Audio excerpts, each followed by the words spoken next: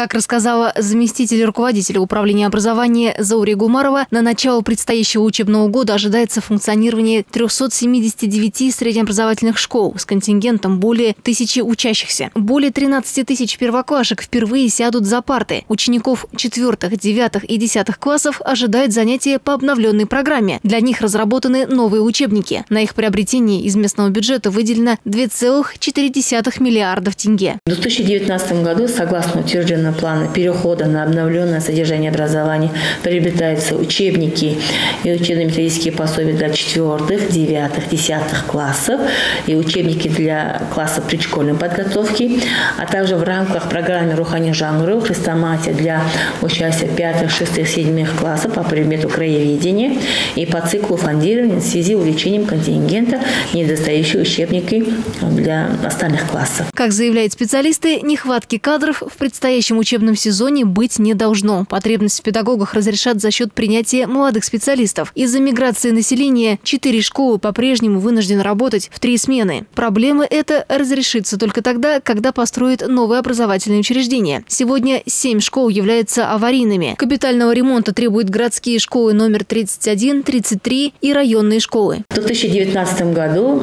для капитального ремонта трех объектов э, образования из республиканского бюджета в рамках программы АУ или Бесига выделены средства. Это средняя общеобразовательная школа номер один в городе Чапаева Акжаикского района и средняя общеобразовательная школа имени Жаксугулова и Сатпаева селе Тоскала Тоскалинского района. В целях ликвидации аварийности школы для сокращения трехсменного обучения в 2019 году на строительство трех школ из республиканского бюджета выделены э, средства. Это школа на 300 мест с интернатом на 100 мест в селе Чапаева Акжаикского района, э, школа на 600 мест в селе Косталка Косталского района,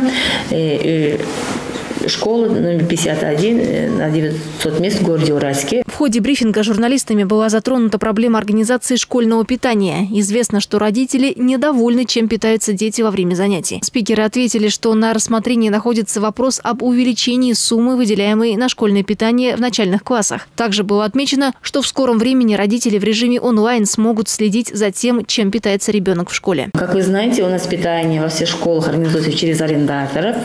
Есть соответствующие правила организации питания школ, школьников. И совместно с, с Палатой предпринимателей Матамикен э, в пилотном режиме в городе Уральске э, в школах э, будет как бы внедрено питание через электронные карточки. На вопрос о тяжелых портфелях школьников, зачастую ведущих к проблемам со здоровьем, представители управления образования ответили, что по желанию родителей часть учебных пособий может быть заменена на электронные учебники. Марина Горбук, Нурлан Кунашев, Рустам Джумаш Мамашев, ТДК-42.